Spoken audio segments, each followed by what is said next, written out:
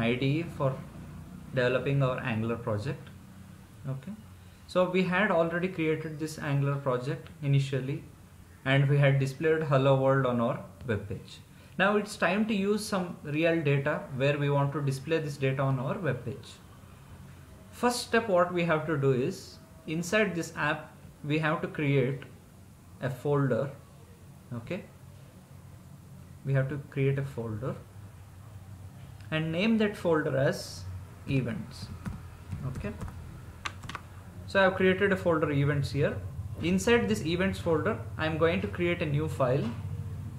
And I want to name that file as events hyphen list dot component dot ts. Okay. So this is a new file which I'm going to create inside events folder. Now inside this component file I want to bound the data that is I want to bind the data inside the component class and I want to render render that binded data onto our web page. That is by providing inside the template the HTML content where we will access the data bind inside the component and display on our web page. Let's see how we can do that okay? So initially we have to decorate with at the rate component decorator right so we have decorated with at the component decorator for this file. Okay. I need to specify inside this braces. Okay. And for this I need to import component from that is import component import component from from where? That is at the rate angular slash core. Okay. So now we have imported this component and we have specified the decorator over here. So I need to specify inside this component two things. That is selector for this component. I'll name it as events hyphen list since this is hyphen list dot ts I want to name it as events hyphen list okay? Next thing is template. Template is a HTML content which we want to display on our web page that we are going to provide over here. Okay? So once we have provided this component decorator and required properties over here next we need to provide class that is export class I need to name it as events list component okay? And inside this class I'm going to specify the data which I want to display on our web page okay? I want to specify that over here. So first we have to create an object of event okay? Let's do that. Event equals this object contains the data okay?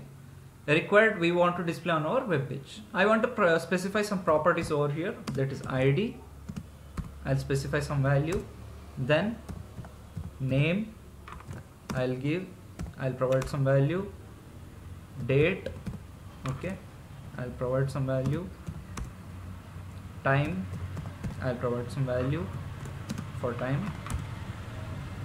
Price I want to specify over here okay for the event how much it costs and location of the event. Okay another property is location of the event. So next what we will do is we need to specify values for each of this. Location I want to specify as an address field. So let's provide inside the curly brace. Okay and inside location I want to provide address. Okay and provide the address. I want to provide the city. Which city the event going to take place and the country. Okay? These data I want to display on our web page. So these data first let's specify some values some uh, values for this data. Some event is going to happen. For example the name of the event let's specify as let's specify as Pharma Tech Expo that is PTE this event is going to happen on 10 15 2020 okay? That is the date of the event. And I want to specify the time of the event. Time of the event is what time this event is going to take place. Okay? I want to specify the event as 9 a.m. okay? This event is going to start at 9 a.m. price for the event. I need to specify some price for the event right? How much it costs I'll specify the event cost as 5000 okay and the location that is address of the event I want to specify as parade ground and city Chandigarh and country is India. So this is a sample data for an event. Some event is going to happen here. Okay, at this address, this is the name of the event, date and time and price of the event. Okay, I specified an event object over here and I want to take this object that is bounded over in this component. I want to display on our web page. This is what I want to do. Okay, so next thing what we have to do is the data which we have bound here, we have to use this data and display on our web page. Correct. So before doing that, I need to specify this selector inside events-app.component.ts because when it is rendered, it will look for this selector. Correct. So this selector, let's specify inside events hyphen app component.ts. So inside hello world, instead of providing hello world as a message here, I want to specify the selector. It should be the name should match actually. Whatever we are providing the selector name should match over here. Events hyphen list. Okay. So this is the selector which we are going to use. Okay. So we have already specified the selector over here, the same name which we have provided over here. So now the main thing which we have to do now is we have to specify inside this template by accessing the data which we have bound inside this component. How we can access this data? By making use of, use of component, uh, this, uh, by making use of interpolation concept.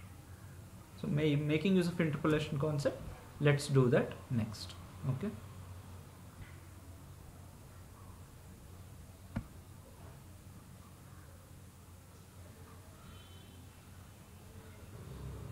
So now let's specify the HTML content which we want to display on our web page by making use of this data. Okay, so let's write div. Okay, inside this div, I want to write a H, h1 element over here which will display technology events in India. Okay, this is the header which I want to display by using h1. Next, okay? I want to separate this with HR okay? Inside another div I want to specify some bootstrap class over here so that we can do some styling. I'll specify as well. Okay and by hovering this well I want to do some styling and this should be in the form of a thumbnail okay I'll specify as thumbnail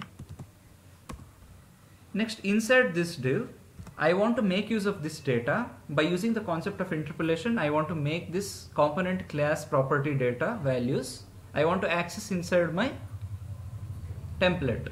How we can do by making use of interpolation concept. That is, that is by making use of double curly brace to access the value of these properties specified inside events list component.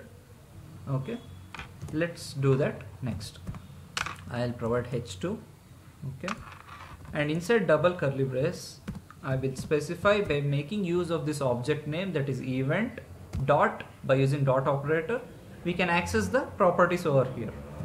That is event dot name. This is how we can access the name value inside template. Okay? Similarly I want to I want to also display date over here okay? Date by providing inside double curly brace that is event dot date okay? This slash div. Next time I want to display over here that is time colon double curly brace. Concept is same over here. Whatever the data we want to access by making use of this object dot operator and specifying the name of the property which we have specified inside the component class. Right. So event dot time slash div so we have displayed name date time okay? And also I want to display price of this event. Is price colon double curly brace event dot price. And one more thing if you have to observe over here I want to display this price in the form of Indian rupees. Okay? To display this in the form of Indian rupees what I am going to do I need to specify here whatever the value for the Indian rupee. That we will do next. But now initially we'll just specify the value.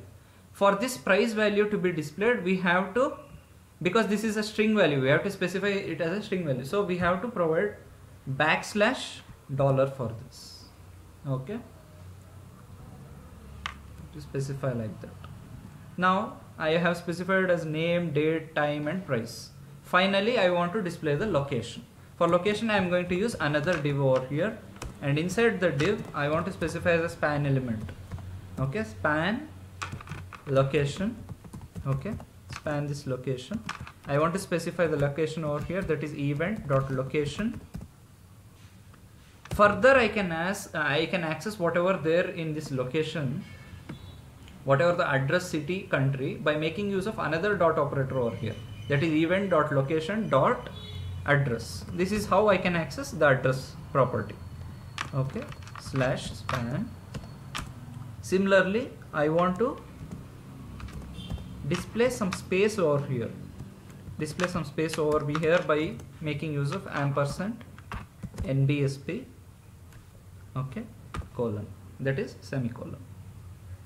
Slash span. Okay? I have displayed some space over here so that the address and whatever we are going to display city country over here is separated. That's why I'm using this space. Okay? Then another span where I want to display the city and country both. That is by making use of event dot location event dot location dot city. This is how I can access the city property. Okay comma I want to separate it with comma and I want to display the country name. event dot location dot country. Okay. Slash span. Okay. Now we have to close these divs which we have opened over here. That is by slash div. Okay. And here also there is one more div over here slash div. Okay.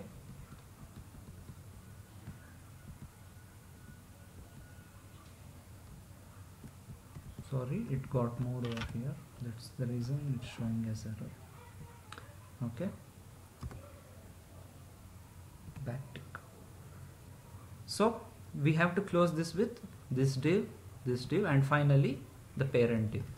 Okay that is or here slash div okay this much so now whatever we have specified inside this template this will be rendered on our web page by making use of the data specified inside the component class. Okay.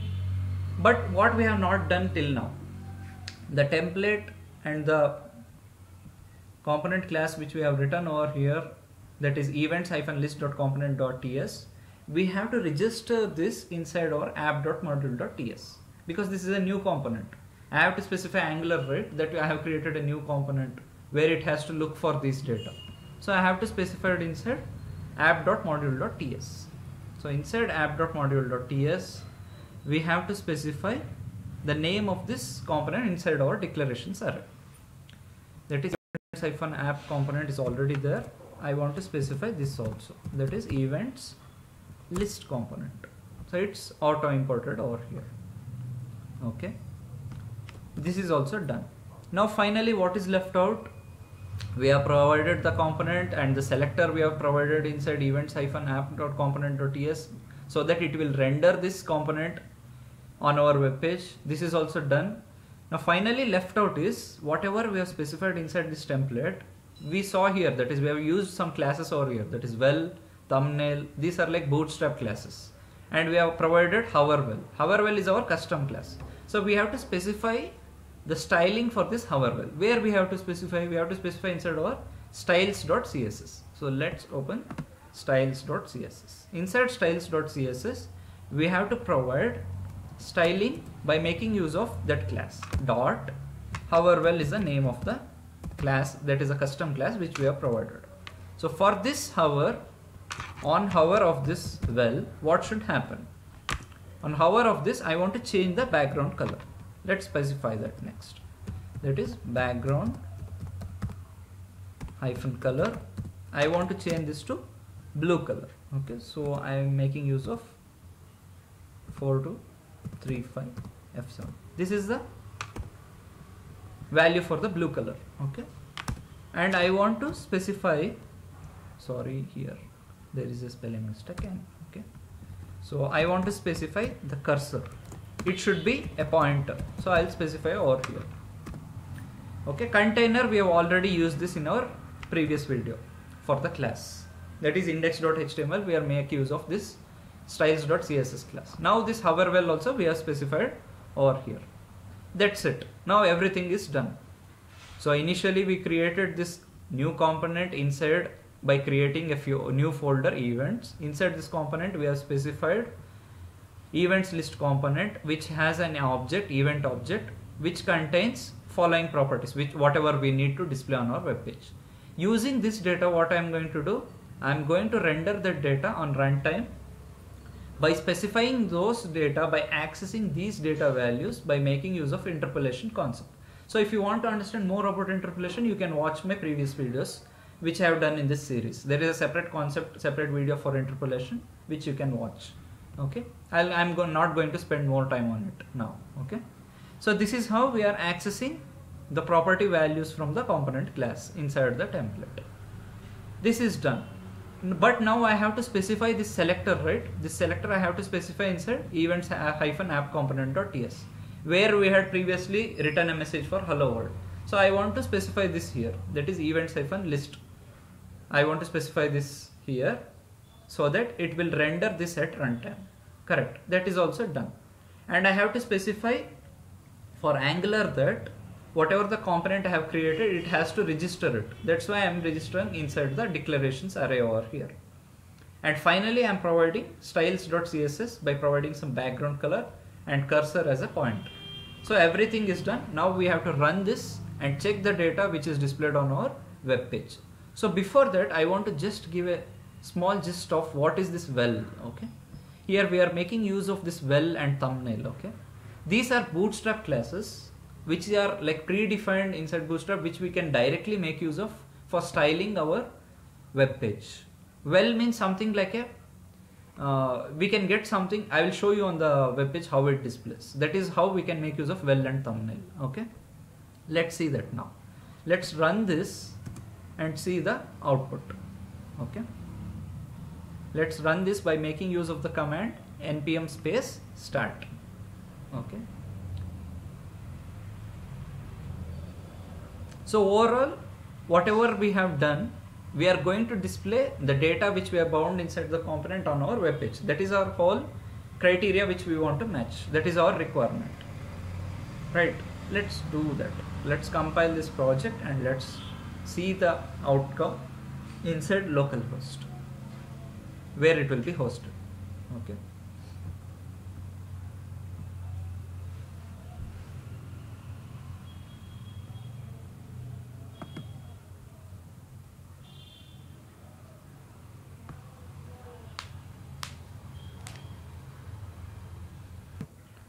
So now once I provided this command npm space start, project got compiled successfully over here. If you observe here, the project got compiled successfully and this got hosted into localhost colon 4200. Correct. So let's open this in our browser to see the output now. Okay. Let's open the browser. Let's provide localhost colon 4200. So now you can see that technology events in India is getting displayed. The event which we have provided the data inside our component class that we have bounded the data is getting displayed over here. And I'm going to hover on this. You can see that if I go, I'm going to hover on this. We can see that blue background is getting displayed. And if you see the cursor over here, the arrow cursor is getting changed to the pointer. these two are the styling which we have done inside the styles.css right if you observe here whatever we have provided in styles.css okay. That is hover well. Okay. On hover of this hover well this class background color should be changed to blue color. That's what is happening. And cursor should be changed to pointer. Okay. So now whatever is displayed over here on our web page this is called as well. Okay this rectangular shape where our data is getting displayed is called as a well which is a bootstrap class which I have used in our project okay? So that the design on our web page will look better. The look and feel will be better by using by making use of this.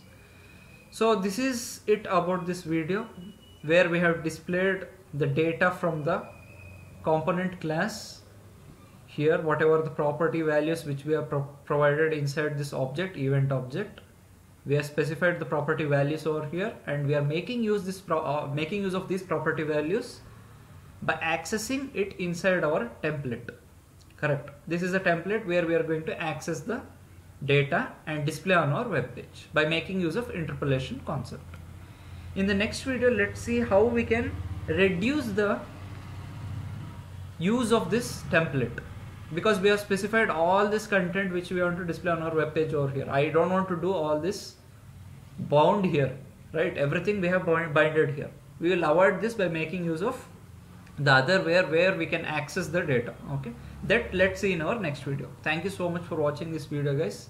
Please like comment and share this video. And kindly subscribe to my channel in order to watch more videos